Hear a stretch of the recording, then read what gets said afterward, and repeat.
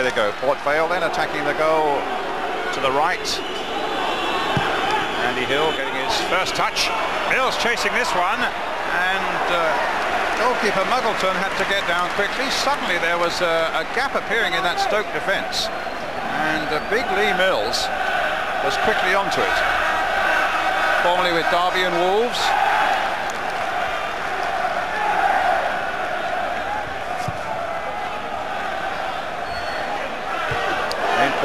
Get that away well. Sandford with a header for Stoke. Ian Bogie now for Port Vale. Orlygsson knocking it forward. Glover getting it away only as far as Gleghorn. Peschisolido plays the ball inside, but uh, Gleghorn is down uh, with a challenge there. It'll be a free kick to Stoke. Case of both players there, Brian, going in for a ball it's going to be one of those matches. There's, there's going to be no sort of love lost between both sides. They're going to go in fully committed to it. And Mr. Singh has got an important role to play that he shuts down on it early. And let's remember what we're here for is playing football. Local derbies, they're always the same. There is always a bit of bite, a bit of needle in them. And therefore the referee's got to settle it down as quickly as he can. Stretcher on. Of course, it's the uh, with the new rules this year or the new interpretation, the referees have to go basically to the player and say, do you want treatment on the field or not? Or do you want treatment or not? And if he wants treatment on the field, if he wants the treatment, he has to go on a stretcher and get it off the field. But I think Gleghorn's injury probably is a little more serious than... Uh, it looked close to the knee to me, Brian. You know, is the stud's going in round about the knee. Well, they will certainly miss him, Stoke. Toddy Orlygsson with the free kick. Very good one either. Bogie, formerly at Newcastle, then a spell in London with Millwall and then Leyton Orient. Tankard playing the ball in to Lee Glover. Number eight is Andy Porter. Here's Hill again. And uh, Clarkson getting that away quite comfortably for Stoke. Kevin Scott chasing this one wins a free kick. Well, that was kicked away by the Port Vale defender there. Actually, Dean Glover saying we didn't hear the whistle. I think it was uh, Gareth Griffiths who actually, yes, who kicked it away. Well, whether he heard the whistle or not, he's going to get a yellow card. Kicking the ball away. Dean Glover saying quite clearly to the referee, we did not hear your whistle. It is a problem for players, you know, there's a good atmosphere here, very vocal, and therefore that could be a possibility. If not, the young lad's a silly boy. So the big defender who uh, passed a test this morning to play in this game, that's something he least wanted was a yellow card so early on. Andy Porter with a high clearance, gets underneath it as well, up to Lee Mills. Got forward again towards Lee Glover. This is Hill again. Playing the wall towards John McCarthy. Does well there. Beats Wallace, flicks the ball for Mills. Lee Glover waiting in the middle, but a good strong challenge there by uh, Sigurdsson. Throw to Port Vale. McCarthy tries to get the ball into the centre there, but Kevin Keen that time getting it away.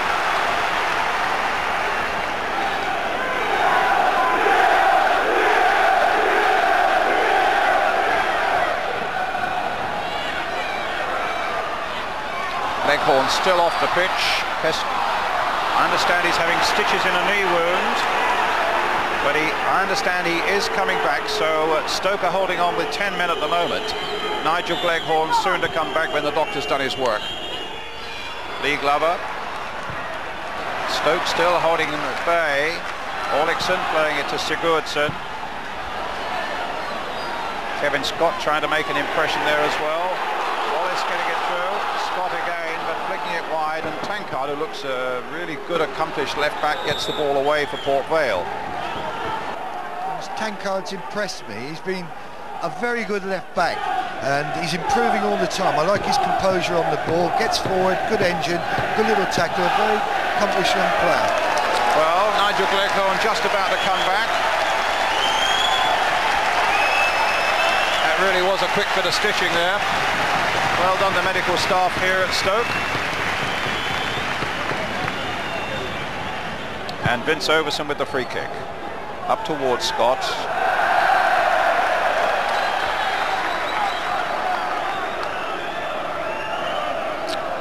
So Gareth Griffiths, a name take, and is stain. He's complaining still to the referee there, as you can see.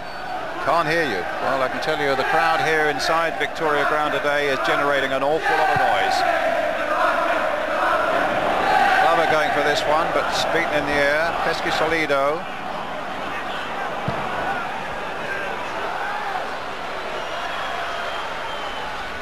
Throw to Stoke. Lee Sandford will take it.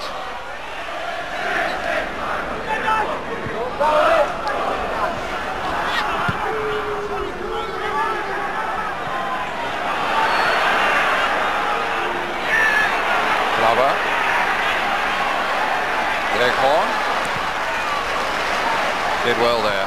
Peschisolido did well also. Orlygsson trying to find Kevin Scott. Well cut out though by Dean Glover. Such a good pass there, cut out for Stoke by Clarkson. Orlygsson to Clarkson, another former Birmingham City player. Scott's ball inside, picked up again quite comfortably by Porter. Sandford. Peschisolido's making a little run down this left-hand channel and does really well. Well, it looked, he looked to be second favourite there against uh, Griffiths, but still got his shot in well. Yeah, he's looked sharp, Brian. On the three times he's been in possession, he's kept his team in possession, done the job properly, done it well. He looks very sharp to me. Bogie to McCarthy. A strong challenge there by Ray Wallace. Another yellow card. And what's interesting, Brian, is both sides are playing with wingers, and therefore people are diving in at wingers, and McCarthy has got the ability, and Guppy, to take players on, and they, they're always aware of this player diving in. I thought Wallace committed himself much too far away from the ball there.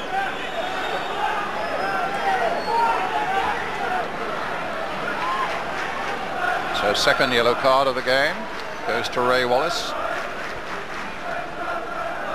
First one went to Gareth Griffiths. Andy Hill with the free kick. This is Tankard. McCarthy. Cut out by Wallace.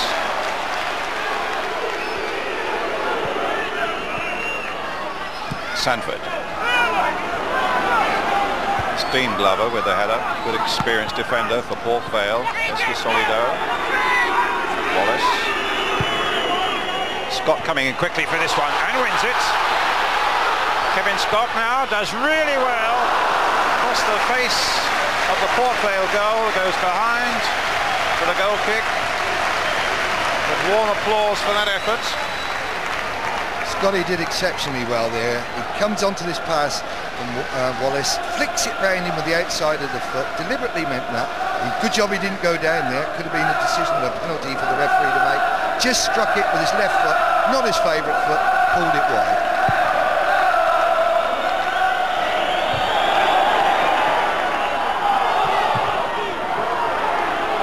Kevin Keen. Knocked back by uh, Scott to Gleghorn, to Sandford, to Keen, who's come to this side of the field.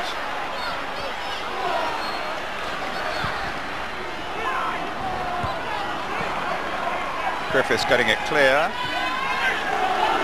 It's Bogie. Always a neat player, Bogie, but the ball goes straight to Clarkson there. And now for Wallace, Keen, Peschisolido,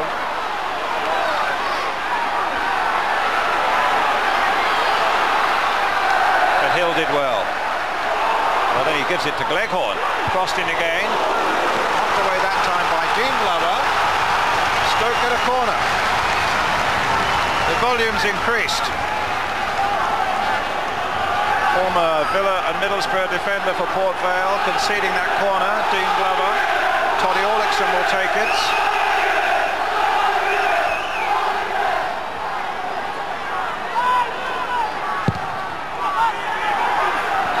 And goes beyond the ball for the goal kick. It's a shame about that because the one thing you don't want to do at this early stage is give the ball back to the opposition. You want to put them under as much pressure as you possibly can. And Augustin then just knocked it far too long. Hadn't quite got his touch because he has normally a lovely touch.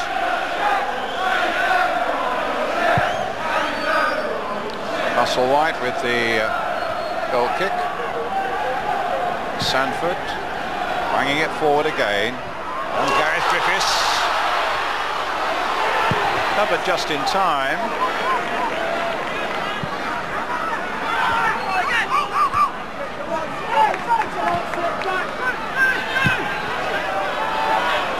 Porter's long ball straight through to the Stoke goalkeeper Carl Muggleton once with Leicester and Stoke.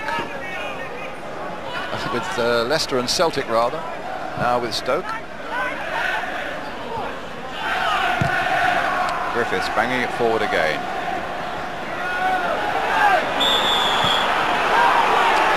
Free kick for the foul on Lee Mills. There's a few players involved around that ball there wasn't there Hill McCarthy big signing in the summer McCarthy from uh, York City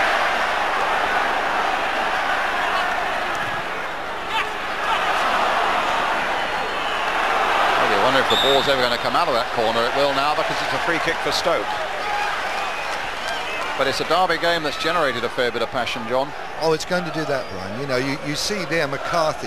On four occasions, he lost the ball and got it back again. That is what Roger will be asking his players to do. Fight for every ball, scrap for every ball in the first 20 minutes, and then we'll suddenly settle down and try and play.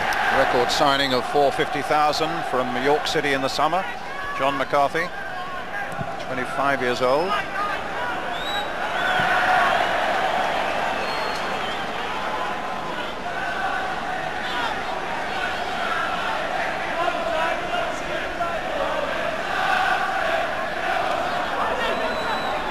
Some wet stuff coming out of the sky.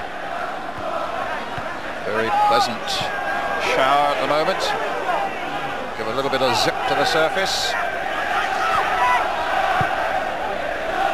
This is Lee Mills. Lee Glover. Back to Bogie. And now for Hill. Mills again. Uh, some good interplay here by Port Vale. And a shot from Porter that was not that far off the mark, but uh, there's some good work leading up to it. There was some good football play then by Port Vale, starting at the right back here, Hill, who just played a little ball to the front and off they built off of that. Now, Port Vale, I don't, I don't know what Greavesy said about them last week, but for me, they're a side that can play football. Rudgy wouldn't have it any other way. He wants it done that way, and they can play on occasions when they get the ball to feet like that. They look a very good side.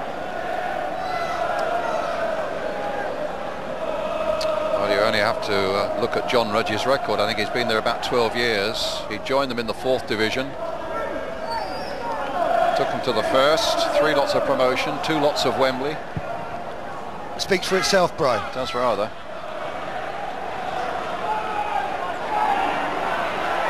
It's a good long clearance by Clarkson. Banged away very effectively by Glover. Overson. Clarkson again just clipped off. No, it's a throw to Port Vale. Allen Tankard will take it.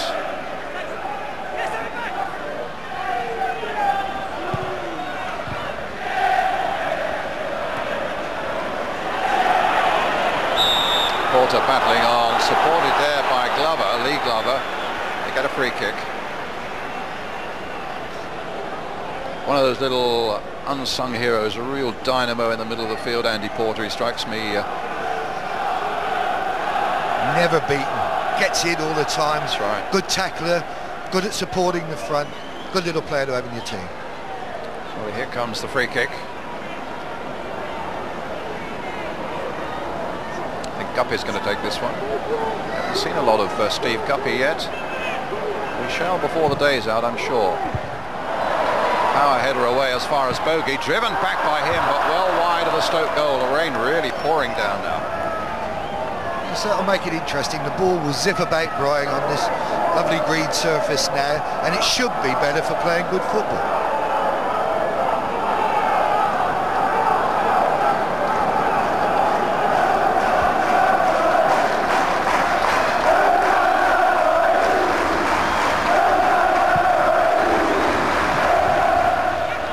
Another good decision of mine to leave the raincoat and cap in the car, isn't it, eh? That's two of us. That's a good bit of work by Sandford.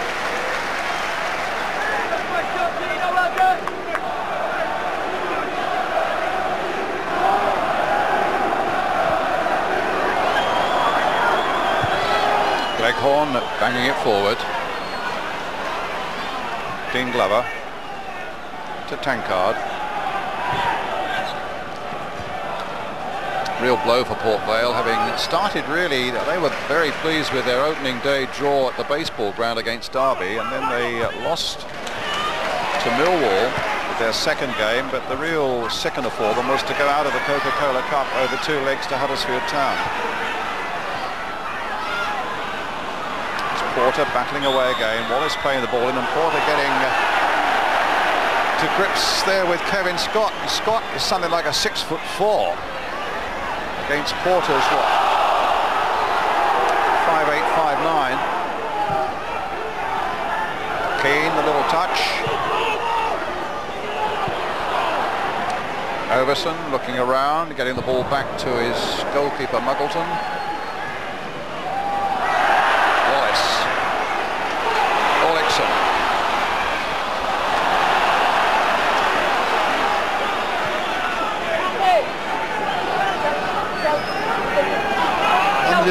Little surprise here. I'm looking at Gleghorn and I, I don't see a plaster over that cup, right? It just seems to be open still. Porter trying to get in. Gleghorn chasing Porter.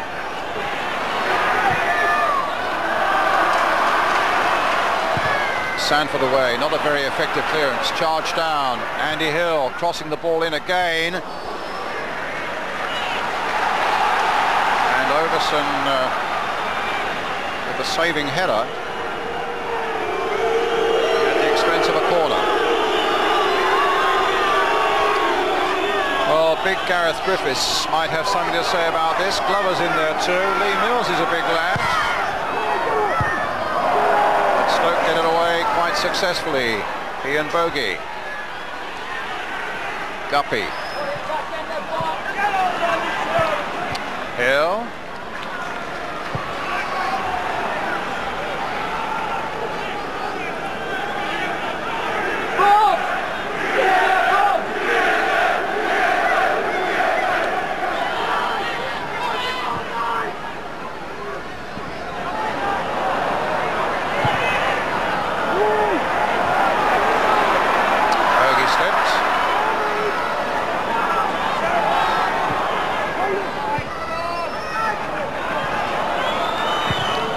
McCarthy.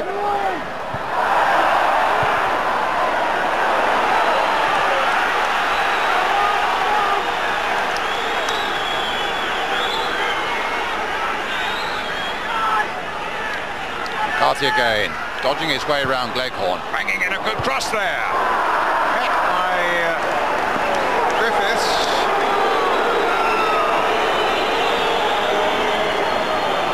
Actually, after the early uh, break or two by Stoke, Port Vale territorially have had the better of it. Yes, they, they've, they've got the ball out wide, especially on the right-hand side to McCarthy.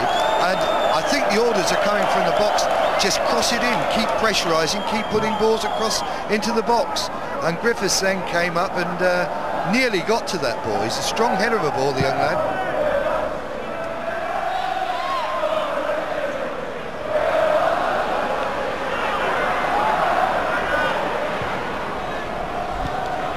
McCarthy.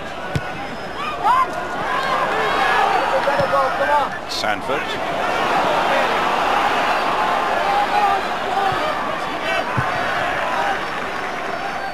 Griffiths to get clear up towards Mills. McCarthy. This is Tankard. Away comes Stoke now. Orlygsson with Scott up ahead of him. Peschisolido too. Here's well, the ball played wide for Clarkson, but Clarkson really had no chance of getting that. And Port Vale covered that well, get the ball out to Guppy.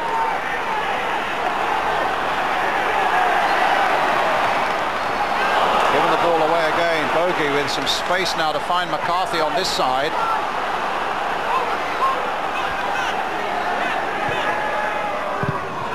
Easily cleared by uh, Sigurdsson.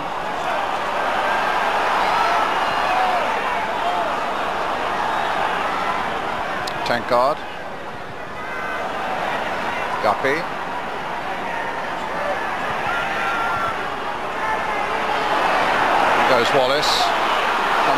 Orlygsson. Might lift one forward now. In fact, he tried to find Scott, but it was cut out again. And an offside against Lee Glover. Brian, I just can't believe Orlygsson. He is the type of player you normally like to see on the ball because he's such a good passer. He can split defences, he can change play, and he's just given three simple balls away. Whether it's the pressure of a local derby, I don't know, but he looks very nervous at the moment, and he's just not doing what we know he's capable of doing. Free kick with uh, Carl Muggleton. And I got a look at Gleghorn's knee there and the stitches. Clarkson.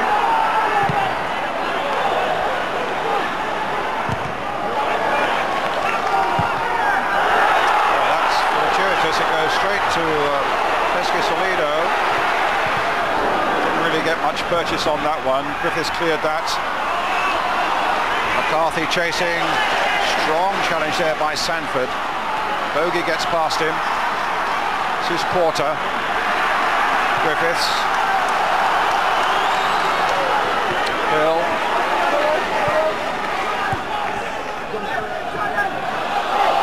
Lee Glover. Oh, he's played a ball in there that uh, Mills almost got on. He was just a little bit on his back foot there, Lee Mills. Hill. Now Clarkson to bring it forward for Stoke. Keen outside him. Wallace inside. Sandford.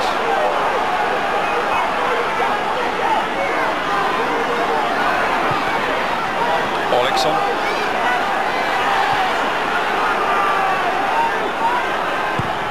Sandford again, hoisted a long one there towards Wallace. A foul by Ray Wallace.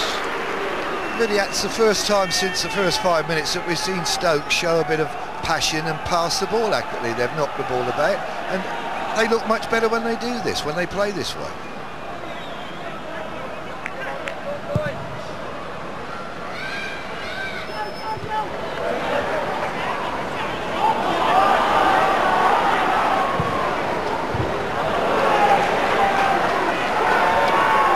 There's John Rogers just come down onto the bench, something he's not happy with.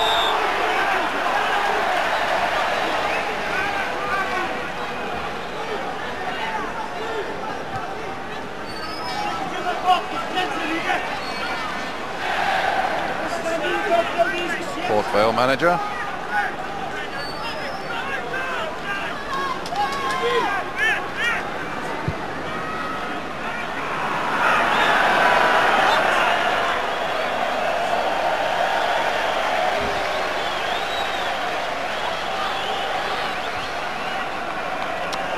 Well, he was bemoaning the loss of key players so early in the season, but uh, he's a shrewd tactician, is John Rudge, and he's had a, as we've said earlier on, a really terrific record here at uh, Stoke, at uh, Port Vale.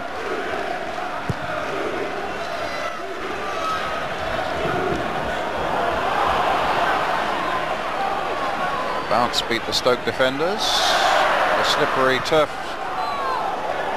beat Lee Mills. I suppose, Brian, this is the first sort of slippery surface the boys have had either to train on or to play on so far this season because we've had such a dry summer. That's right. And therefore, I think we'll see a few of the players maybe slipping and sliding. But you were right earlier on. I was looking at Mills. He was on his heels when that ball was played Yes. through for him. It was a super ball. He just wasn't quite ready for it. But he's the type of player. He's got a good goal record, and uh, give him half a chance around that box. He'll hit the target. Didn't have a very long spell at Derby, did he? But I think he it was something like seven goals in 16 appearances. That's not a bad That's ratio. not a bad ratio, is it, when you go to a club? Because it takes you two or three games, I suppose, to get in to know the players around you and things right. like that.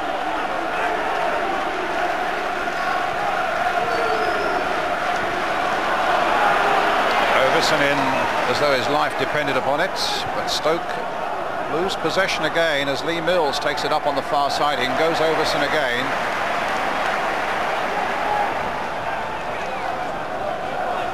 Tankard.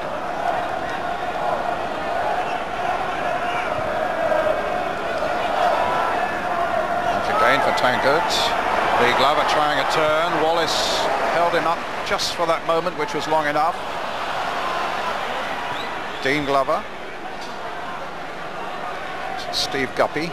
Oh, given away badly there to Peschisolido.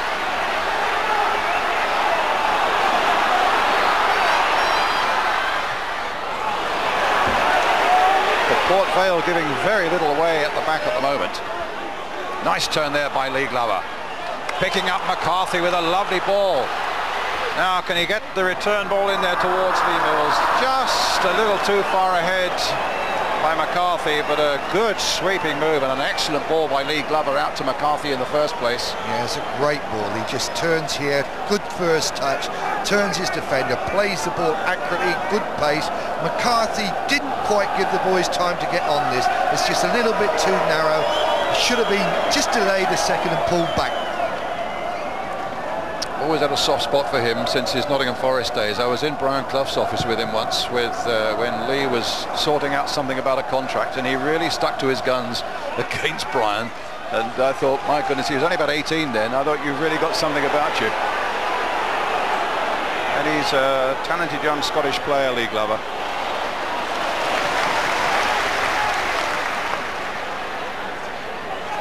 This is Kevin Keen once of West Ham Ian Bogie getting it away. Wallace.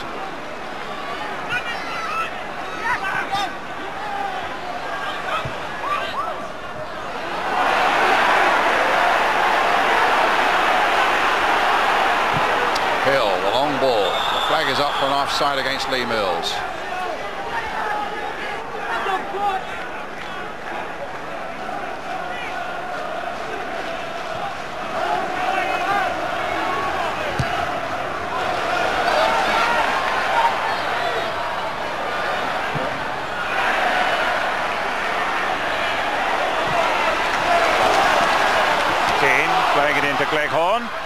Can he try and lob the keeper? He very nearly did. Musselwhite was backpedaling. That was a cheeky little chip there by Nigel Gleghorn. He's so unlucky, Brian. He's looked up, he's seen Musselwhite off his line. He looks up there, and there goes the chip, and it's floating, and Musselwhite had to give in. It was nearly perfection. It'd have been lovely to have seen that dip in. I'm not supporting Stoke, but, you know, the skill alone from Gleghorn was wonderful. Kevin Keen up towards Scott.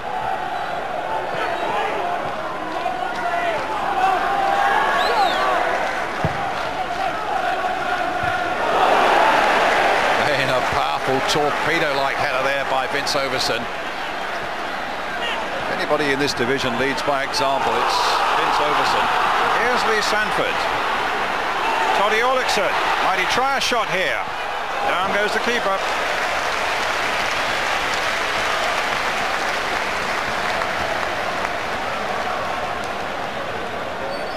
It's a good move. And here's Orlygsson, he just controls the ball, looks up and he says, right, I'm going to let this go. And he let fly. On target, you can ask no more from the players and to put it on target.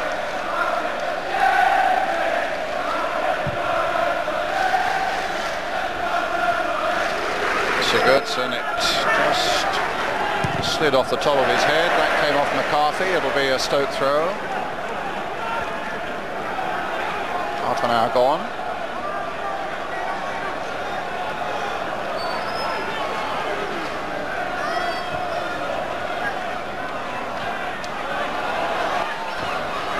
Glover cut out by Sandford. Scott couldn't keep it going. Porter battling away. Here comes Scott again. I think I may have called him Kevin Scott earlier on. Actually, that's what the program is, Keith Scott. This is Porter, or rather Guppy, and here's McCarthy. Mills. He thought a moment ago he may have been struggling a little bit, till Lee Mills. McCarthy playing the ball in towards Guppy. Bogie picks it up. Nice control there. Finds Tankard with it. Might try a long shot here.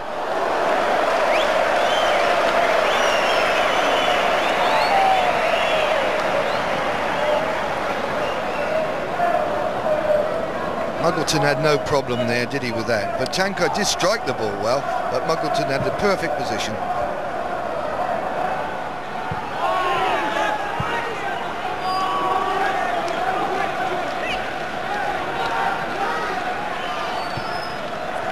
Tankard again.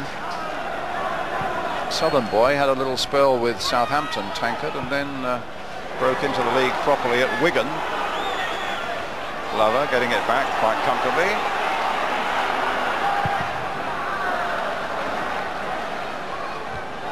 Good jump again by Overson. Keen. Oh, it finds Gleghorn. Well, that was on target too. Charged down by Andy Hill. Clarkson, chip in again. Easy one this time for the keeper.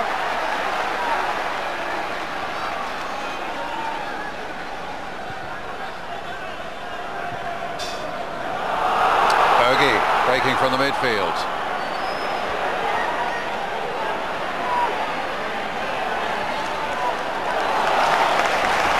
Ian Bogie, who played his early football up in Newcastle with Paul Gascoigne before he went south with Millwall and Orient. Guppy.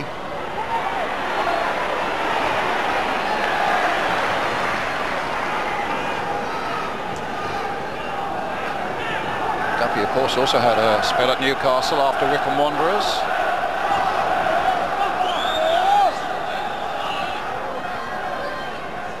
Tankard. Keen gets it away.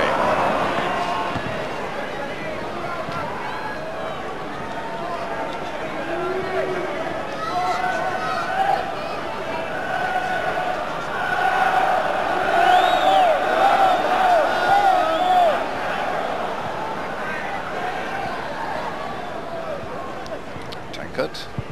Guppy.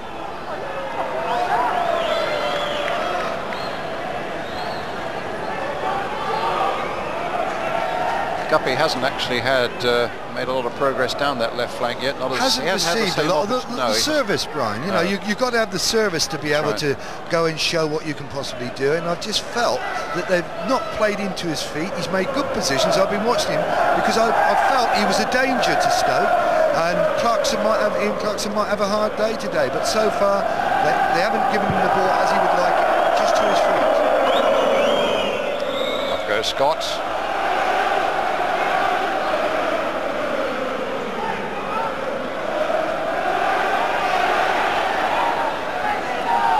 To be fair, it, the game's just lost it a little bit at the moment, but Port Vale are still pressurising, still trying to get forward.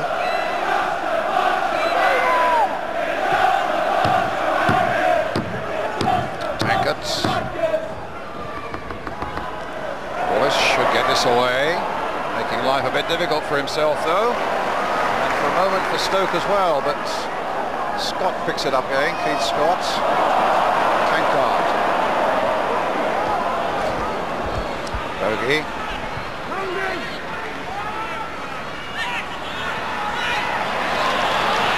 Keen.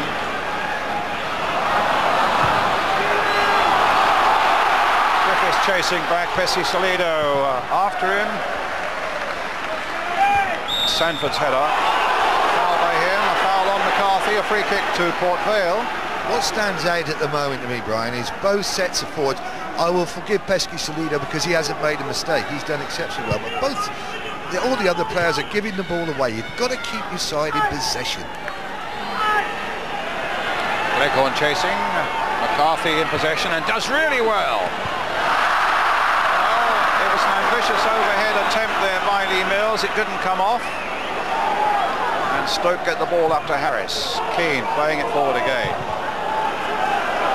Tell you something else, John. Uh, Port Vale might well have come here as second favourites, but I've been very impressed by their spirit and their organisation so far. Their attitude has been superb. They've knuckled down to it. They've tried to do the right things. The two midfield boys are getting tired and winning a lot of the ball and spraying the ball about mainly out this side to McCarthy, and he's looked a threat. McCarthy's crossing ability is very, very good. Glover. That was Dean Glover to Lee Glover. Now Guppy. Oh, it's a good ball forward for Porter to chase.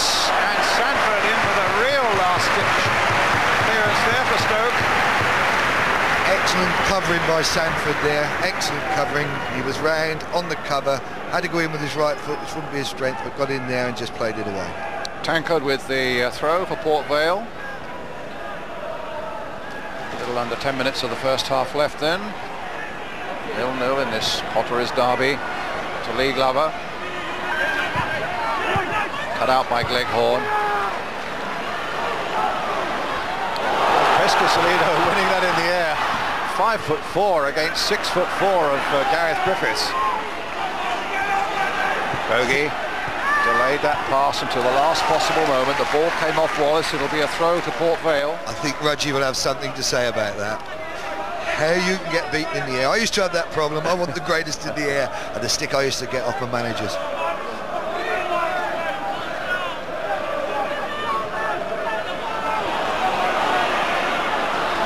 Scott.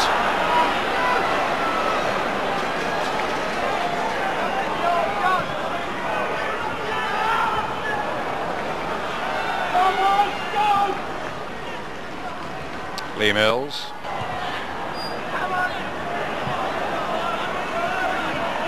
McCarthy getting it back to Hill. Turn there by Lee Glover. No foul by Vince Overson. Up gets Glover. The referee took a good look at it. I think probably made the right decision there. Yeah, I think that was fair enough tackle from Vince Overson.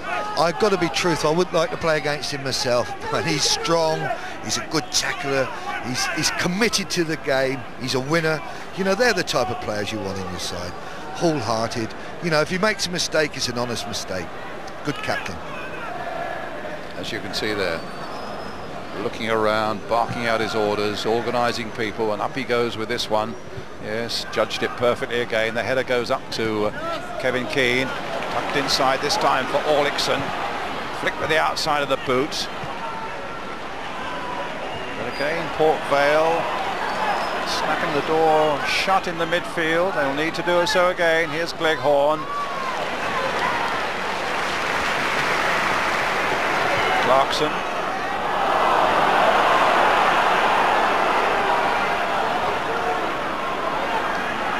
Ian Bogie. McCarthy. Just one of those misunderstandings there. The winger was wanting the ball over the top and Hill thought he wanted it to feet. Communication is well, what was that's wrong the there. first time they'll have played together. Andy Hill, of course, only joining them a couple of days ago, so McCarthy really wouldn't have had any work really yet with uh, his new fullback. If Griffiths had not passed his fitness test, Andy Hill would have been uh, drafted straight in as a centre-back. Up goes Griffiths for that one, though. Lee Glover. Sigurdsson after him. Will it come to Guppy? No. Kevin Keen got there first. Gets it back again from Clarkson. Stoke now trying to get on the move again. Peschisolido. But the ball comes through to Lee Mills. And now with uh, Steve Guppy. Orlygsson. Gleghorn. They're really bustling. They are working hard, Port Vale. They're not giving Stoke time to think, let alone breathe. And the shot goes away over the top there. It's covered there by the keeper. Uh, Andy Hill shot. I think that was more a cross, Brian, don't you? Come shot. was. We, whenever you were asked in the dressing room at half time as a fullback, you'd say, oh, I, I meant, meant a it." shot, governor, you know. what happened to that cross? No, it was a shot, governor. Well, it was nearly a very effective shot. Up goes Scott. On goes Peschisolido. Oh, that was always a difficult one there for Musselwhite. Fair, Peschisolido worked so hard at closing down there, Chase. He looks a yard quicker than anybody on the pitch to me. Whether it's because his legs are small, he's going at 90 miles an hour, but he is moving about, he's, he's making things happen, which you've got to as a player. So it's a Stoke corner. Overson's up there. Sandford's in there. Overson's header! Well, they cleared it off the line. I think it was Steve Guppy who actually got the ball over the crossbar, but it was a good header from the big defender. The goalkeeper, Musselwhite, has come here, no man's land, and there's Guppy, good defending. Unusual position for him, but they must place him there deliberately, Reggie, because of his height. He's got it over the bar. Another corner for Stoke. Pressure building now again on uh, Port Vale. They've defended really well so far. Coming towards the last three minutes of the first half.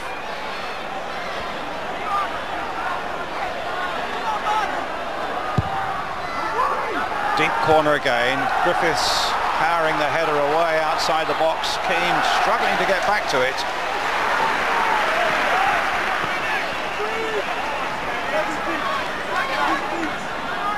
Kevin Keen to Ray Wallace.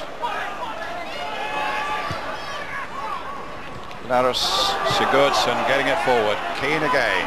Peschisolido. Oh, he went down Porter there very comfortably. And now McCarthy. Finds Mills. A chest down for Glover. They claim a handball there. Off uh, Orlygsson. I suppose Glover and Orlygsson would have been teammates at uh, Nottingham Forest together. What you don't try and hand the ball straight in front of Not the really. referee. Even that man we say needs glasses at times didn't miss that one. I'm not saying Mr. Singh, I'm saying the referee, Brian.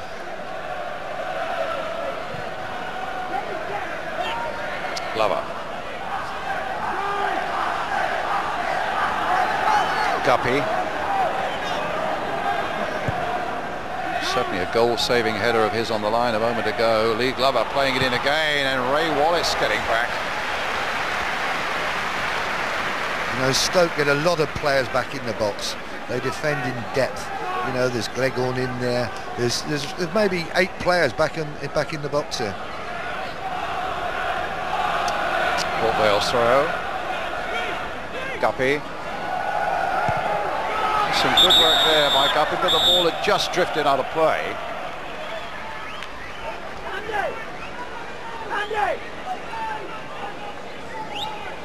Neat player, Guppy. Got good skills, good left peg, and he can take players on either side.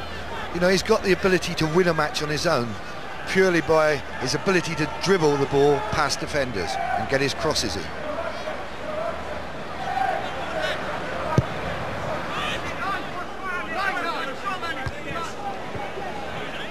Mills.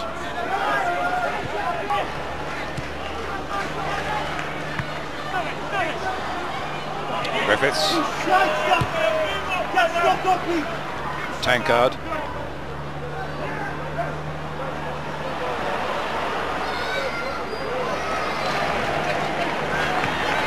This is Keen. Tankard again.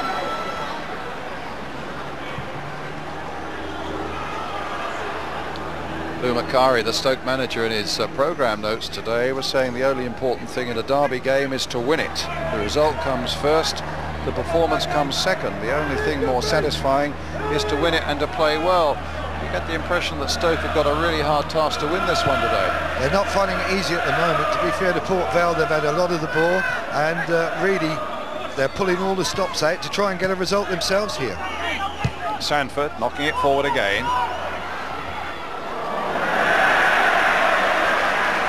Dean Glover. It comes for a goal kick to Port Vale.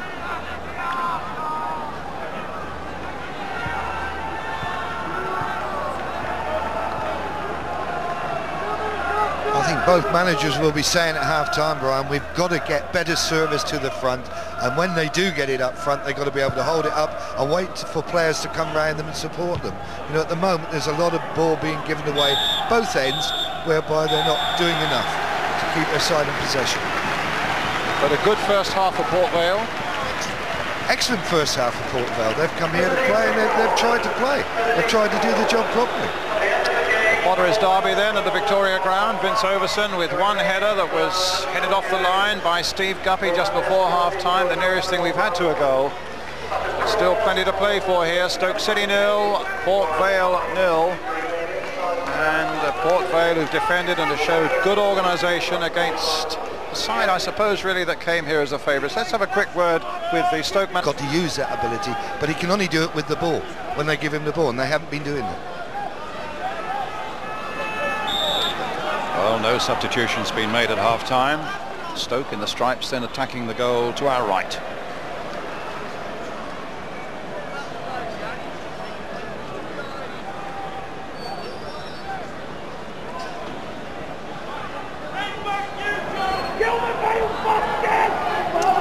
Lee Glover battling away, no quarter asked or given.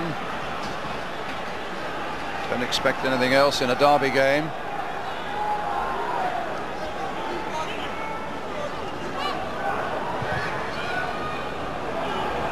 Two Mills. Cut out well by Lee Sandford towards Keith Scott.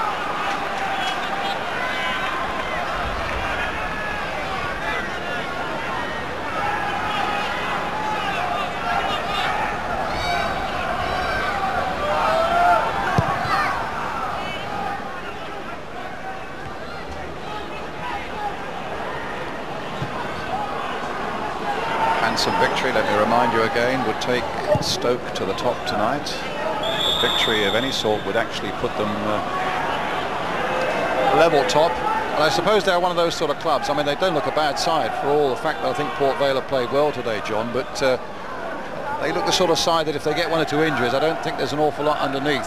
I think Lou would tell you that, wouldn't no, he? I was speaking to Lou Wednesday, and he said he's not got the biggest squad in the world. He's got 15 players basically that he can call on, and uh, you've always got that worry, Brian, that will be an injury to one of your your mainstay, one of your main players, and that would be a problem for him. I think he may have a little bit of money to spend, and uh, I know he's been doing a lot of miles trying to look for players and find players, but it's difficult at this time of the year. Well, it's Paul Musselwhite. Lad started down on the south coast, born at Portsmouth. And the ball goes behind for corner, is it? Yes. Indeed it is. For Port Vale. Up comes Griffiths, who you fancy might be a real threat, standing at six foot four. And normally a good header of the, to boot, Brian. They will probably look for him, but in fact it was Lee Mills who got the header in, glancing away across beyond the far post. That was good service from Guppy. It's a good in-swinging ball, nice height. If you attack it and just get in front of your defender, you can really power the header in. He, he got in front of his defender, couldn't quite get the power onto the header. So Carl Muggleton with the uh, goal kick.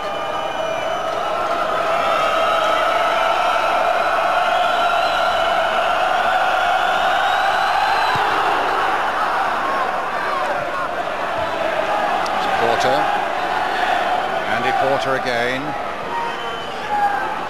Andy Hill. Lee Glover. This is Ian Bogie. Oh, it's gone past Overson. Here's Bogie with a chance. It's a terrific goal by Ian Bogie.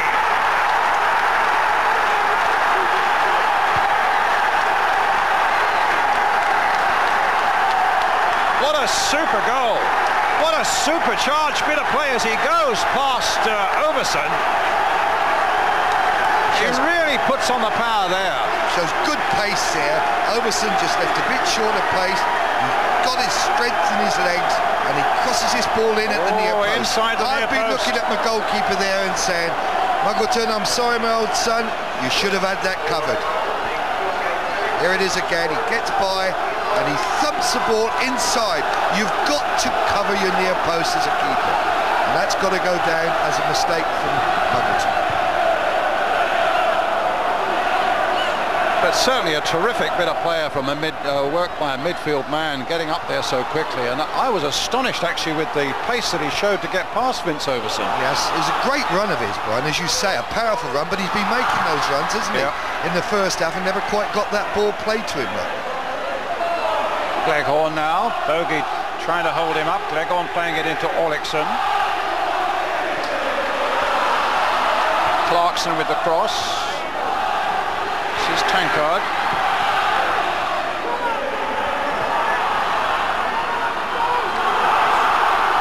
Sigurdsson. Oh, given away. McCarthy chasing. This time the keeper's there. And this, remember, in a Port Vale side without arguably their best defender, Neil Aspin, who's got the shoulder injury, without their top scorer, Martin Foyle, who's got a toe injury. And a side that's really not had a very good start. That, in fact, was the first league goal they've scored this season. And it was an excellent one by Ian Bogie. Now really Stoker's now got to start thinking, right, we're going to push a few more players forward. And here's the goal coming up again here. Look how strong he is. He's kept Overson off, who is a, a very strong player, I assure you. And he's got power into that shot, but it's gone inside the near post, inside the keeper. Well, here come uh, Port Vale again, this time Lee Glover. Supported here by Andy Porter. Hits that straight at Sigurdsson. It comes out to Kevin Keen. Up to Peschisolido. It's a foul uh, by Andy Porter on the little Stoke striker. Free kick to the home side. Ended amicably enough, but here's Clarkson with the free kick.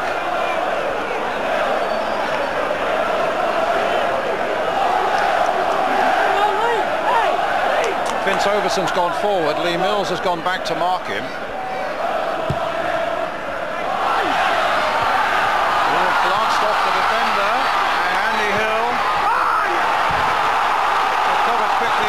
It away. It's an interesting time to get a goal as well for Port Vale because they, they daren't sit back and try and defend it now. They've still got to be playing the same way.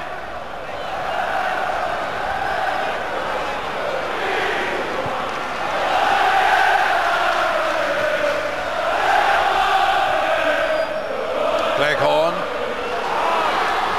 Might he try it? Wallace driven in, well wide of the goal. Deflection there, Brian, from Wallace's shot. It's a corner for Stoke. Kevin Keen going across to take it. Stoke looking for a quick response. Overson's in there. Sandford's up from the back. Played it wide. Knocked away again. Orlygsson will try and keep it going.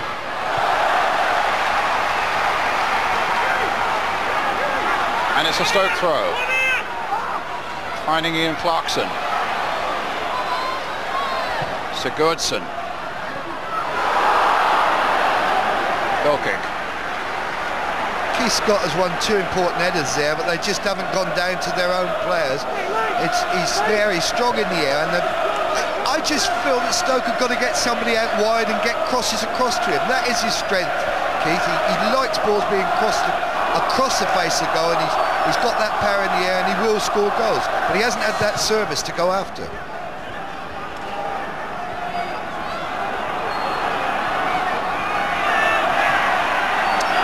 John, uh, John Rudge telling Gary at half-time they're going to get the forwards to hold the ball up a little bit and so on. Didn't say anything about midfielders coming through and scoring a goal like Ian Bogie.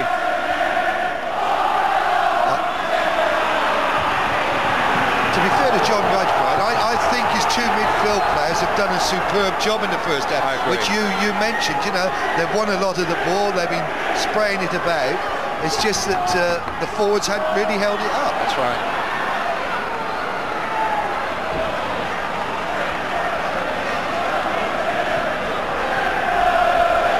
you know, he's a tackler, isn't he, Bogie? And he had, to, he had to make the decision of whether to play Walker or Bogie, and he's, he's been bold. And that's when, as a manager, you you, right. you really deserve a pat on the back because right. you made the right decision so far anyway.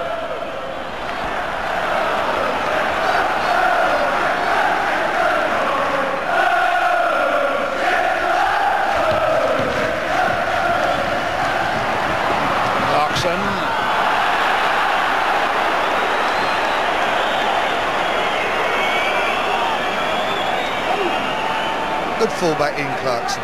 Very solid player just just a bit of a long stride he comes onto this ball. Just stretching a bit too far. It's just gone away from him, just off his foot. Shorten the stride, Clarkey. That's the answer to that, Ryan, isn't it? Get him on target.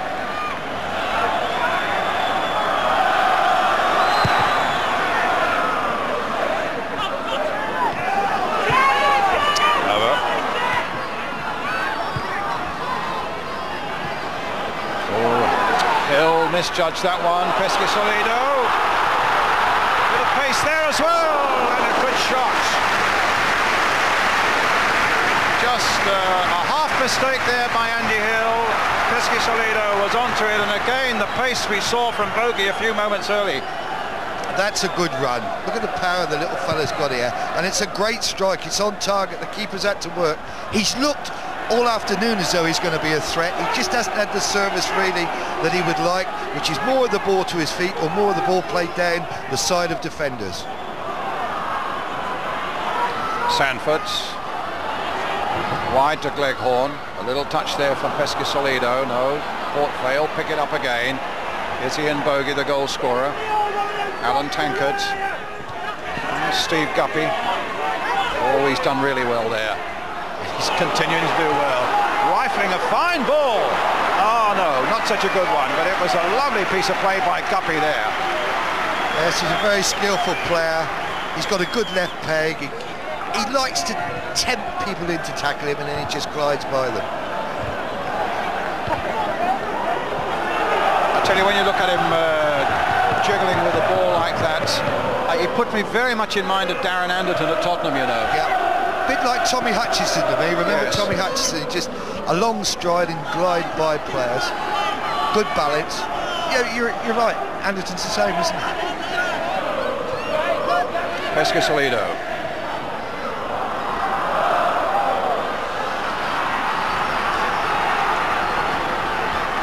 Well, these are slightly perturbing times for Lou Macari as the clock ticks on. 12 minutes of the second half gone Port Vale again. Bogie caught in possession unfairly by Orlygsson and Scott and a free kick to Port Vale. But unfortunate there because Tankard had made a very good break there He was just about to receive the ball with a lot of space in front of him.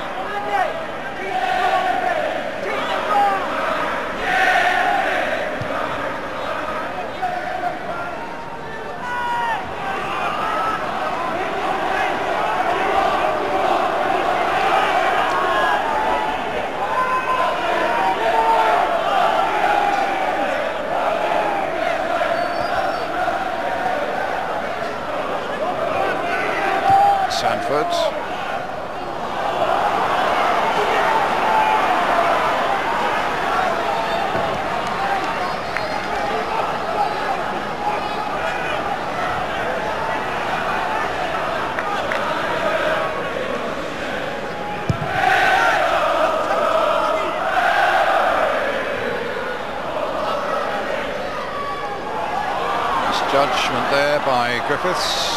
Brave for the play there. Handball. Brave for the play there by Andy Hill. I think Gleghorn's a shade unfortunate there. You know, he's been brave, he's gone in there and it's just hit his arm. Not That's out of play. intentionally. But um, Mr. Singh in a better position than I, and he's done a very, very good job up to now, I think so too. Ian Clarkson with the throw. Peschisolido trying to get away from Dean Glover. Short ball to Keith Scott, back to Peschisolido. Scott with the shot, goal kick to Port Vale. It's certainly a livelier second half. Yeah, but that's how you build up. You know, obviously both managers have said to their front men, come on, you've got to get into the game. You've got to make better angles to receive the ball. When you receive it, like there, you've got to keep us in possession. There's a shot, yeah, by all means, go on. If you're a striker, have a pop at that goal. You never score goals unless you do, Brian.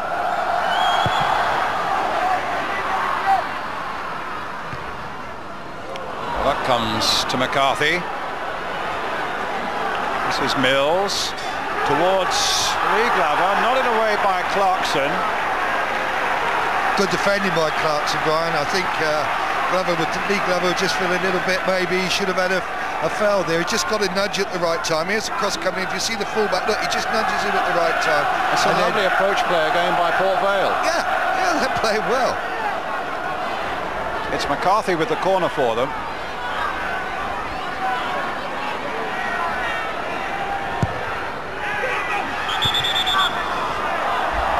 Pushing and shoving there as the uh, corner came in.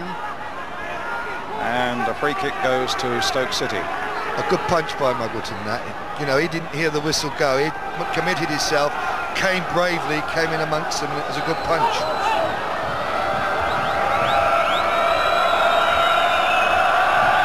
Quarter of an hour, the second half gone.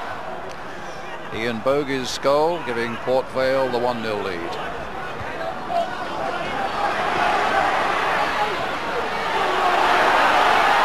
Green Glover trying to hold up. Peschisolido. A little bit of frustration showing there in the Canadian. I think he was trying to say something, wasn't he, about his shirt, Brian? Getting pulled off.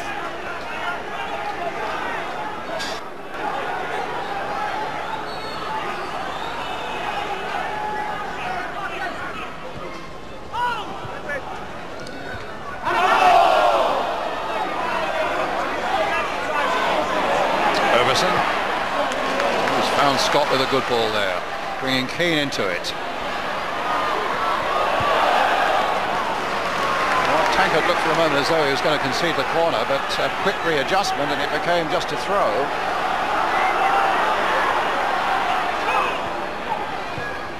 Peschisolido, Kevin Keen, here's Clarkson with a crossfoot hit in early and the keeper just clawed at that one, Musselwhite.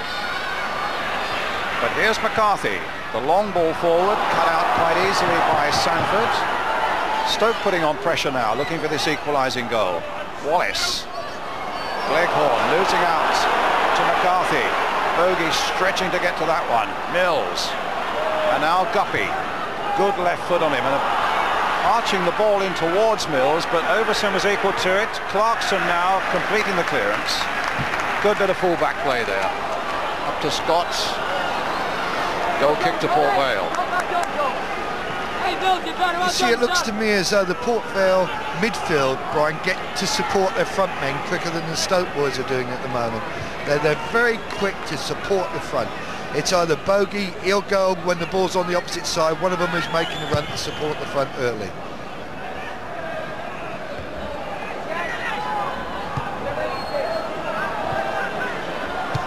Tankards.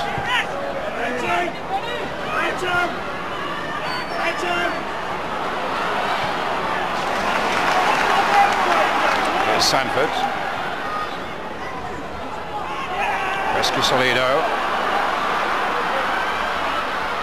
Hold up for a minute. Keen playing it in. Tried to find Scott with it on the far side. Scott does well. But Hill in the end concedes the corner. The rain slanting in again. As Kevin Keen goes across for the corner, Vince Overson comes up once more. Sandford in the box. Scott at the near post. Another six-footer. Played wide again towards Sandford, but it was uh, Hill who got up very well indeed for Port Vale. Wallace playing it wide. Here's Keen again, putting a lower cross in this time. Keen again. Guppy getting it clear, and Guppy going well clear now. Clarkson coming across, but there are white shirts getting up in support. Porter amongst them. But Guppy! Good piece of work and Glover get there.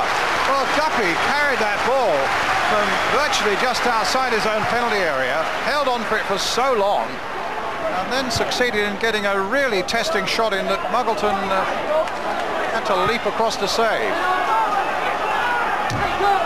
That was outstanding, Brian, wasn't it? Great skill. Here he is on his left peg. He jinked past one, looks up, nothing on, jinked past two, and now he lines himself up, and it's a great strike on target. And there we thought Glover was following up, but he just hesitated.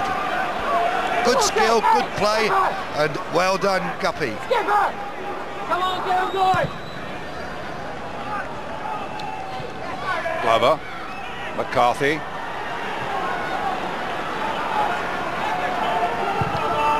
Hill getting it forward. Lee Mills pulled back by the linesman's flag.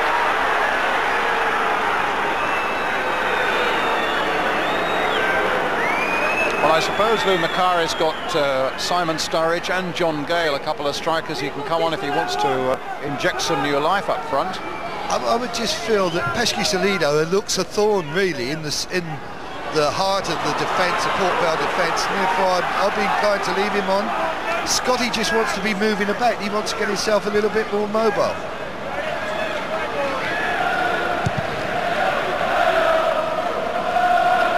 Quite heavy rain now here in Stoke. McCarthy. Lee Glover. McCarthy shot.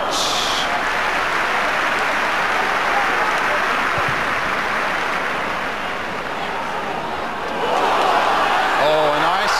An excellent piece of work. A readjustment again there by Dean Glover. Saw the ball going over his head, but that little backward flick there, the headed pass back to uh, Paul Musselwhite was enough to hold up uh, Peschisolido. He's done exceptionally well, Dean Glover. He's yeah, a he solid has. player, composed. He's read the situations. He's done exceptionally well in the heart of that defence. I think they're going to bring on Simon Sturridge very shortly.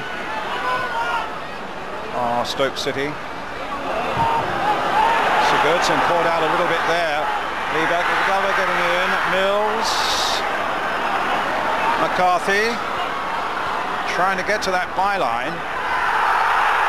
Shoved over by Gleghorn, but Port Vale may have looked, and their fans certainly looked for a I couldn't tell whether it was inside the box or out for something at any rate. It's inside the box, but I'm sure of that.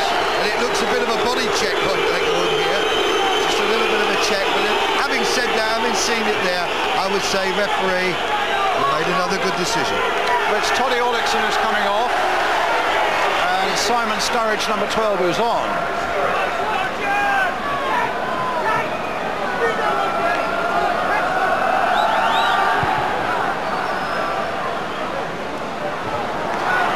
And a really heavy shower now. Lee Glover. Sandford. Peschisolido's swarming about ahead of him. Here he is. Keen held on to it too long. There was a foul on the uh, Stoke number seven. Free kick quickly taken. Here's Keith Scott. Long range shot, goal kick.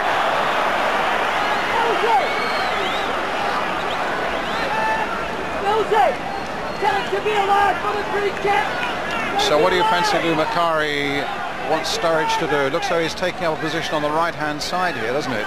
It looks as though he's asked him to go out and take Tankard on, you know, which he'll find difficult because Tankard's got good pace. Sandford gets it clear. But I feel with Sturridge, he has got that ability to go by people and to cross the ball. And uh, really, there hasn't been a lot of crossing from the Stoke um, team, uh, from the wide men. They haven't really got the supply into the front men. Simon, yet another Birmingham City connection in the Stoke side. Keen gets the ball forward. Esposito held up again, free kick to Stoke.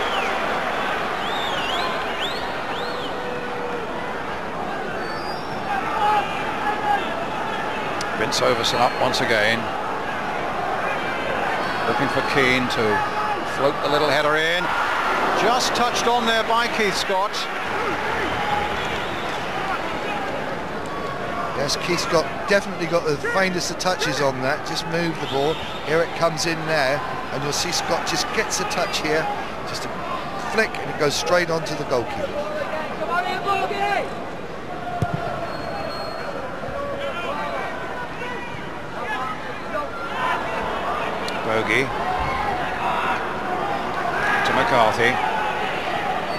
Now for Hill.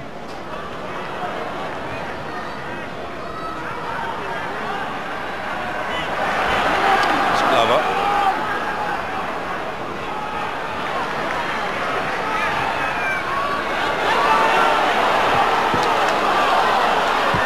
Got there first. Finds Guppy. Good awareness there by Guppy. And good play by Tankard, but the cross was delayed long enough for Wallace to get in there. Port Vale's throw. Into the last quarter of the game now. McCarthy. Well, he held uh, Overson back there. Free kick. 20 minutes to go.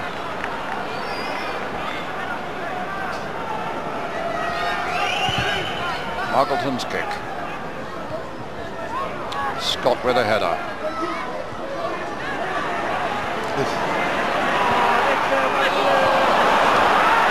Guppy.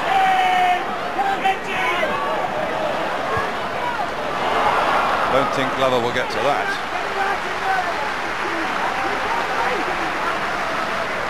Know, it's something that seems to lack in our game at the moment. A player with the skill to be able to just hold the ball and caress the ball and to just take players on when you need to. And Guppy's got that ability, isn't he, Brian? He has indeed. He's good to watch, isn't he? Up comes Musselwhite.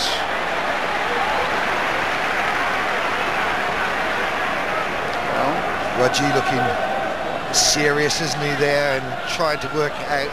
I think I've got it right. He must be saying to himself, I think I've got it right. They're solid at the back, the midfield are competing, and the wide men are doing their job well.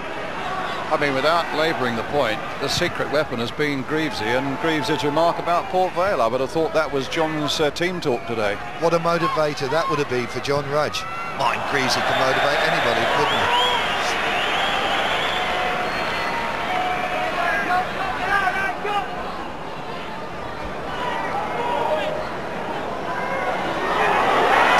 Bogie takes it from Mills. Spreads it wide this time now for Guppy. Here he is again.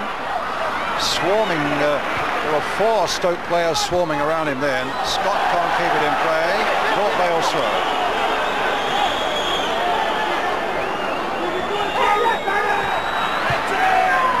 Sigurdsson gets it clear.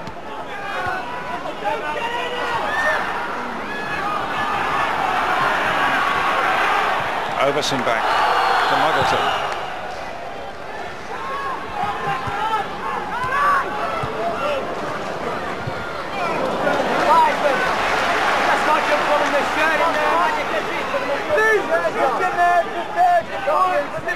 Peschisolido.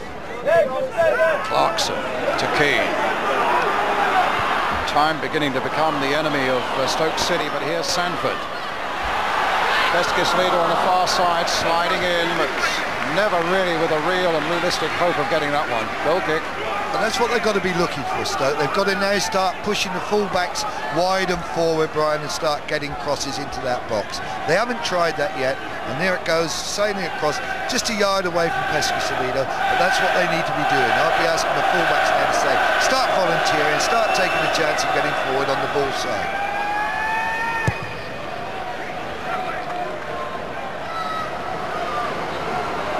Glover. Mills up alongside him and McCarthy up alongside him. McCarthy chipping it in. A lovely little ball now. Glover after this one. But a lot of credit there to Sigurdsson. But a corner for Port Vale.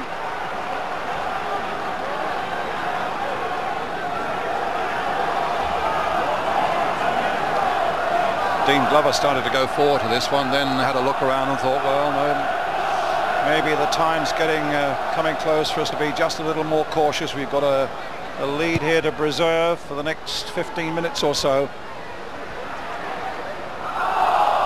McCarthy. It was Kevin Keen who hammers that one away. Tankard versus Sturridge. Just kept in play. Oh, it wasn't kept in play. Free kick, right? Oh, free kick, I beg your pardon. Yeah, he just, he just pulled him back. Tankard just pulled Sturridge back. That's it. Oh, given away again. Nice little play there by Porter. And now uh, Glover to Guppy. Trying to get round Overson. hello. Guppy has gone down. Let's see what the referee is going to do. He's Well, it looked to me, Brian, as though Overson just stepped on him there. Yeah. You know, just stepped on the side of his leg. Guppy had just checked back and Overson seemed to go in with his studs and just caught Guppy on the leg.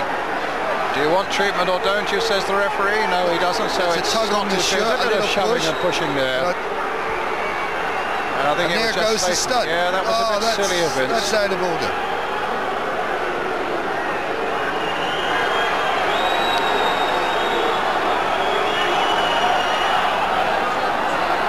I think if the referee had had the slow motion camera there, he might have taken a bit of action against uh, yes, Vince yeah, you know, there, you know where your foot's going, Brian, and he knew his foot was going on his leg. For me, that is what I felt anyway.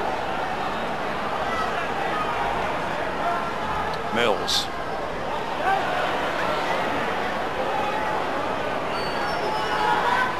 Back to Bogie. Back still further to Andy Hill. Porter. McCarthy. Hill struggling to get to that one. So unlucky. Wasn't it good build-up though, Lovely build-up. You know, simple one-touch football going on, good movement off the ball, and it was just that uh, maybe it's that rain that's coming down. It just skidded that ball just off the top, and it just got away from him.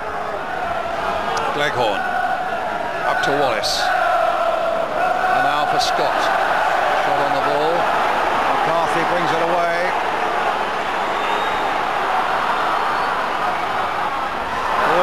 Lee Glover. McCarthy again. Bogie. Mills.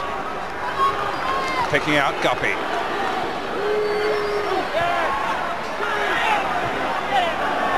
Bogie. Dean Glover. Forward towards Lee Glover. And it'll be a Stoke goal kick. There he is, there's Rudgy, shouting out his orders. Keep it tight, keep it sensible. Don't make any silly mistakes, he'll be saying.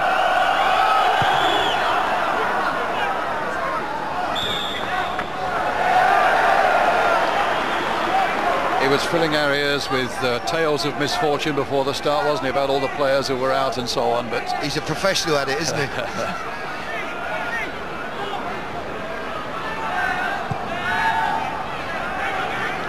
Glover's free kick, a little too high for Lee Mills. Good covering again in that Stoke defence, that time by Andy Hill, but it's gone straight to Clarkson, and now here's Simon Sturridge. Inside for Clarkson again, not forward, but Glover getting it away, Overson on his chest. The whole game at the moment compressed with all the players about 10 yards either side of the halfway line. Overson getting the header in now for Clarkson to chip it forward. Tankard. Andy Porter knocking it forward. Overson getting it back to his keeper. About Andy, 12 minutes left now. Andy Hill's had a good debut, isn't he, really, Brian? He's been very solid over there, good defensive qualities. Well, Griffiths took the safe way out. And you can't blame him for that with uh, Peschisolido breathing down his neck. Corner then for Stoke. Stoke will look for somebody to come powering in here. Overson and Sandford are there once again. Scott stationed at the near post. But it was Griffiths with a header that got it clear up to McCarthy. Played by Glover to Bogie.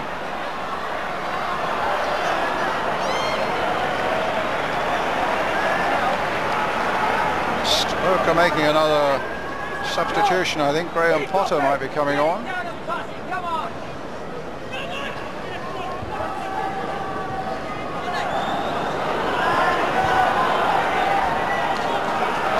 think it might be Keith Scott who's coming off.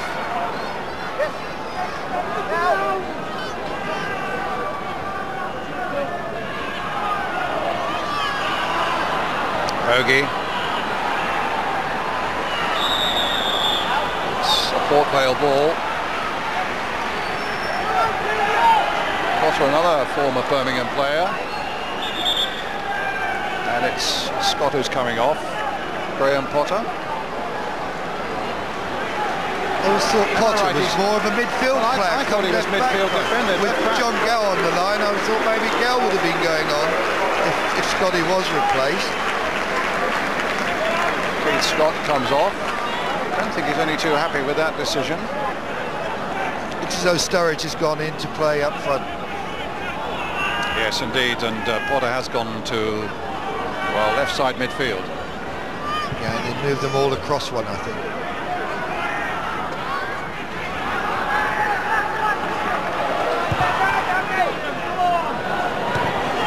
Andy Hill.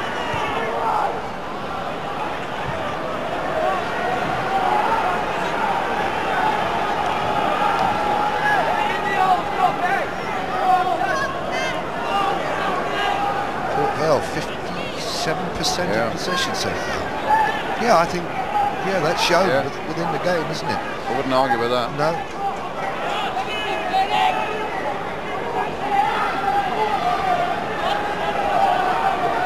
Lee Sandford, former Portsmouth defender with the throw for Stoke. Offside against Lee Glover.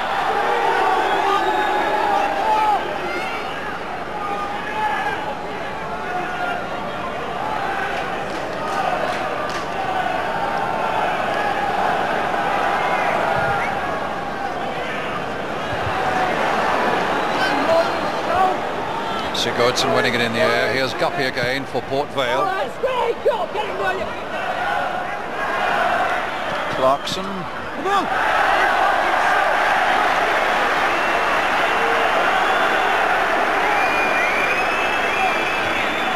It's a Port Vale throw, which Allen Tankard will take.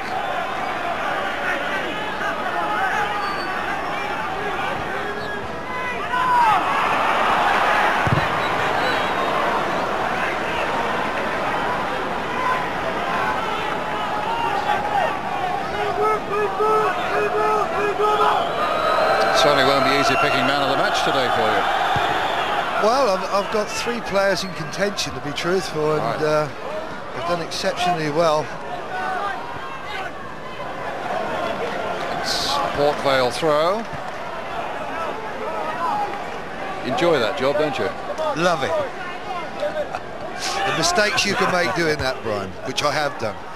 Peschisolido, just a little touch on, but there's no support up there. What Stoke have done is taken the height now with Scott going out of the forward line, hoping to play balls down the side of the central defenders and rely on pace.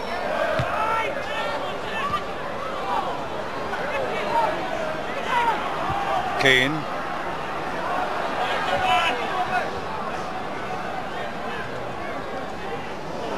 Foul on Gleghorn by Porter.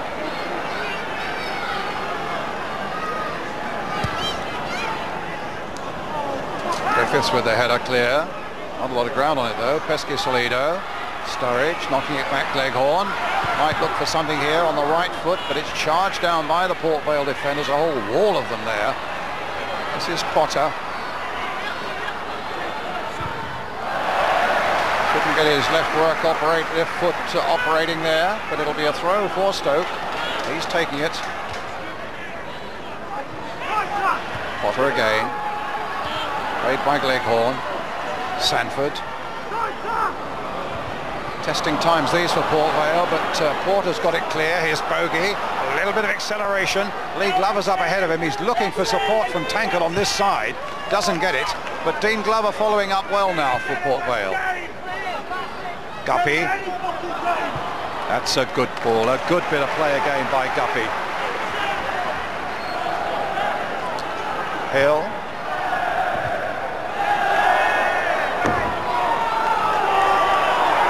It's a Port Vale throw, is it?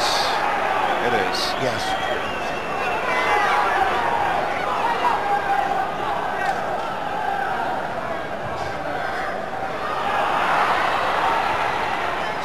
Sigurdsson and now Sandford coming to the last five minutes.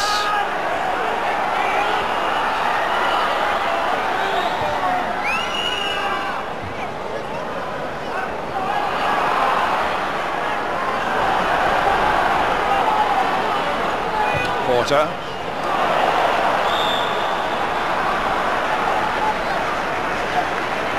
Port Vale about to make a substitution. Tony Naylor coming on. Taking uh, Lee Glover off. Done a lot of good work up front. Lee Worked very hard, especially in the second half. He's worked exceptionally hard, made some good runs, but he's just shaking his head as though he's got a little knock there, and I think that's why they're making the change. Tony Naylor, a striker originally with Crewe Alexandra.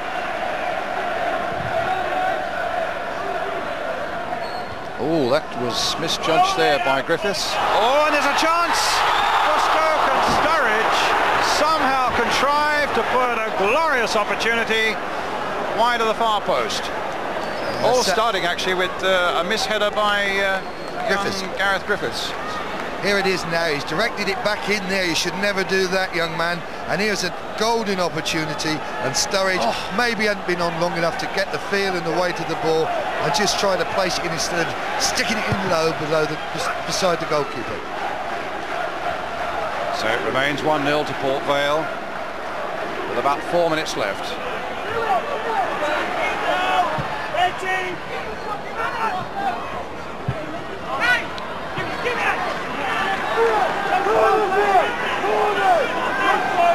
Well, I'm going in for my man of the match, Brian. I'm, I've had, I thought in the Stoke side, Overson done exceptionally well at the back, he and Pesky. Salido looked lively up front.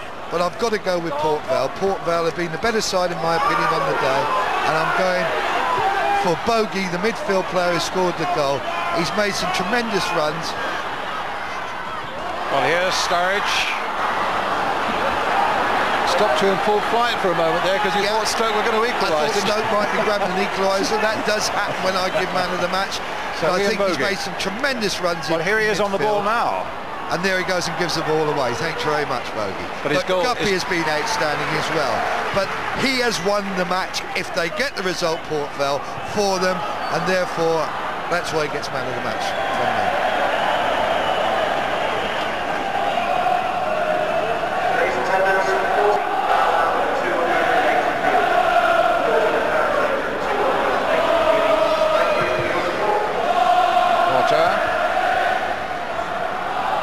Bogie. Up goes Porter. Clarkson going in. Good jump that time by Griffiths. But Gleghorn, a tenacious player, Gleghorn. Bogie just flicking it away. Tankard playing it forward, but Guppy can't get that one. A throw to Stoke with two and a half to go.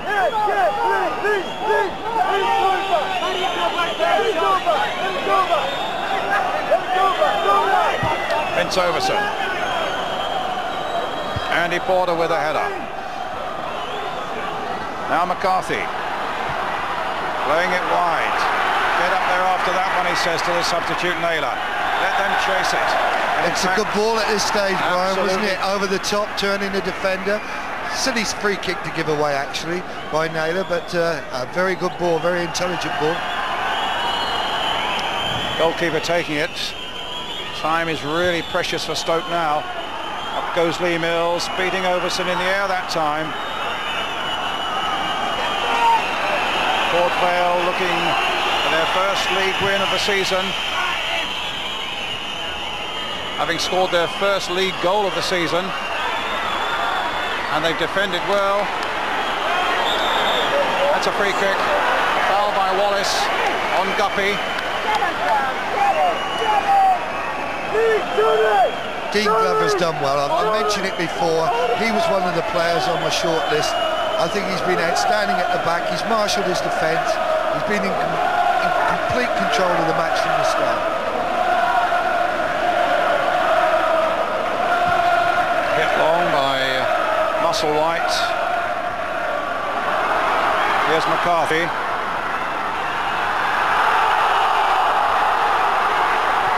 Stoke get it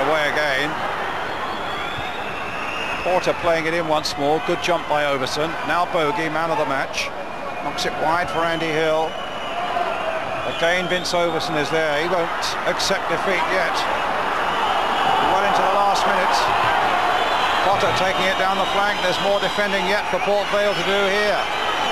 Sturridge with a bit of pace. Playing it wide again for Potter. Wallace waiting in the middle and Keen's in the middle too and it's gone over the top. Wide of the goal, goal kick. It might just be the last alarm for Port Vale. It's a good cross here from Potter. Right across and Keane climbs very high, just awkward, just cannot get his forehead to the ball. Just hit him slightly on the back of the head. First time I've had the pleasure of uh, coming to a Potter's derby, John, and it's it's not been spectacular, but it's got a good passion about it, and I've enjoyed it, I must say. And uh, I, I love days when underdogs do well. Yeah, they are. They are good days in football, aren't they? I've had them against me, and they hurt. But at the same time, Port Vale haven't had the best of starts. Right. A certain member of our staff has motivated them That's unbelievably. Right. And uh, he should get the freedom of the city. I don't know about Stick. Well, I saw Stoke last week at uh, winning at Leicester, and they won well there. Particularly their first half play was brilliant, and they really haven't approached that today. To be fair, they haven't been allowed to approach that, Brian, have they? You've got to give Vale nothing but credit. They've really worked very hard, closed them down, and played it sensibly. Up goes Hill, wins it in the air. They're playing uh, nearly a minute of time added on. If Stoke are going to do anything, they've got to do it now. It's Potter. There's the final whistle. Three precious points for Port Vale with a goal by Ian Bogie early in the second half and uh, Stoke, who'd started the day in this Potteries derby, hoping that a handsome victory would take them to the top. It hasn't worked out that way, but a lot of credit to Port Vale, who battled valiantly in defence, had the better of things in the midfield, and when it came to it, had that one crucial moment when the smiling Ian Bogie stuck the ball inside the near post, beating uh, goalkeeper Carl Muggleton to give Port Vale the three points. Let's have a word with John Rudge, the Port Vale manager. Well, John, you deserve that, and, uh, and your first win of the season, and you must be well satisfied with your performance. Well, it's a great result. I don't think it was a vintage performance. It wasn't a vintage game, but we've managed to win a Potter's derby, and that's very important for us. But you approached it the right way. You got in possession in midfield and scored the goal that mattered. Well, that was right. Ian Bogie's just managed to squeeze it into the near post. I don't know how he's managed to do that until... Well, it was I the goalkeeper's fault, I think. Really. Yeah, well, I mean, he's there was a good build-up play for it, and then he's managed to squeeze it in the near post. There wasn't a lot of really what you call clear-cut chances, but we battled away for it, and possession-wise, I think we had a little bit more than them, and overall, it was a great win for us. But it could have been a draw because Sturridge missed a great chance for Stoke near the end. He did, yeah, there's no question about that. But, I mean, uh, that's the way it goes. We managed to get the three points, and obviously our supporters will be delighted with the result.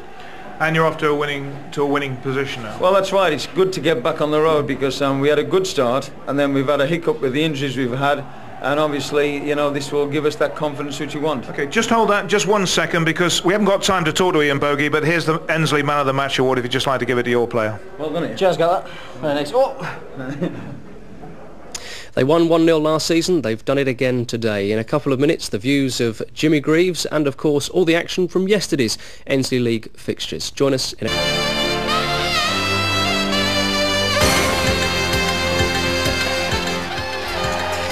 Well, we've already heard from the winning manager. What about the loser? Lou Macari is now with Gary Newbon. Well, I would think the losing manager's had a right go at his players for giving away a goal with the goalkeeper's fault at the near post and missing two great chances near the end. Is that what happened in the dressing room? Uh, no, I think we're more than disappointed, Gary. I thought we treated the game like a five-a-side match. Uh, it wasn't certainly no five-a-side match. We were playing against Port Vale. Uh, we lacked a lot of passion, a lot of commitment. Uh, and it was quite uh, it's quite obvious to watch right throughout the game that we weren't going to get stuck in. We weren't going to treat it the way the game should have been treated, uh, which is to get at them, get a few tackles in. I can't remember us having any tackles in the game. I can't remember us winning balls in midfield.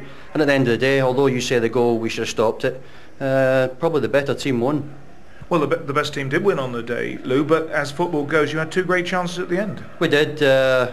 I think if we'd have scored them, Gary, we'd be sitting in here delighted that we'd sneaked a draw out of it, but we didn't really deserve a draw. And I think our lads are going to have to realise that, especially here at home, and especially in front of our crowd, our crowd just want commitment from everybody. And if they get that, they're not too disappointed at the result, whether it's win, lose or draw, but we didn't give commitment today. Jimmy, is that a fair appraisal? I mean, he seems to have put it in a nutshell there. Uh, tough stuff by Lou. He's absolutely right. Totally honest. They didn't show a lot of commitment. Port Vale were. oh no, Port Vale for the Premier League. uh, but they were a better side, Val. They were. They they actually did give the commitment. They showed it. They might well have scored two or three actually. And Lou's right. He's got to be disappointed with Stoke, but Port Vale well, Raji's got to be well pleased, hasn't he? They started the second half in, in the best possible fashion, didn't yeah, they? Yeah, they did. They scored a goal, which uh, which of course is the the important thing. And uh, yeah, I mean, you've got to you've you've you've, you've obviously got to look at uh, Carl Muggleton's situation here. Bogie does very well. He keeps going, shows a bit of pace, and you always, whether you agree with it or not, and whether the goalkeeper could be deemed to be half expecting a cross back because there are Port Vale players running in uh, for the cross, you have to put it down to the keeper. Unfortunately, it's a near post shot. But having said That's, that, it was a good run in the first. It was place. a super run by Bogie. Uh, fully agree with Snoz. He definitely was the man of the match. I felt as well. What about Steve Guppy? He could have put them two up. Yeah, I mean, he looks a good player to me. Yeah. Guppy. He looks a real find. I, uh, I, I daren't say I'm surprised that he's at Port Vale, having come from Newcastle and Wycombe. You better be careful. So I, I, have to choose my words carefully. But Port Vale have got a very good player here, and he looks to me as though he could be playing for a better club if there were a better club than Port Vale, which of course we all know there isn't a better club than Port Vale. And just very quickly, Stoke could have equalised. Ah, well, I mean, you've got to look at this and say, well, there's not. There's all when when you're one 0 when it's one 0 there's always likely to be chances going, and really Sturridge Sturridge will not be happy with this this miss because I know he had only just come on as a substitute, but you have to be alert at all time. It's what we said in the first half, and that really was a very, very poor miss. Okay, Jimmy, well, what of the fans then? Because I should think one set are very happy and some are rather disappointed. We can get a few views now by joining Dennis Coath at the Victoria Ground. Well, we've got the jury here, or at least a third of a jury, and the Port Vale fans here to my right, they're smiling and happy. John, you won here last season, you've done it again. Yeah, we're very delighted to come here and win. It's always nice, particularly without two key players, Aspin and Foyle. And to go into a derby match without two players of that calibre, we'd have been happy for a point. So we're over the moon, delighted. Right. Let's go to a Stoke fan, and Lindsay, you look miserable. What went wrong today? Don't know, just couldn't get any goals. I think that they all wanted to win it more. Well, Philip, you've seen the matches this season. You win at Leicester and you can't win at home against uh, your neighbours Vale. No, no, I think they just wanted to win it more for their supporters and what our players did for us. Let's go quickly to uh, Helen, another smiling Vale fan. You must be pleased with this to beat your rivals. It's brilliant. It was such a game. It was a cracker. Everybody was brilliant.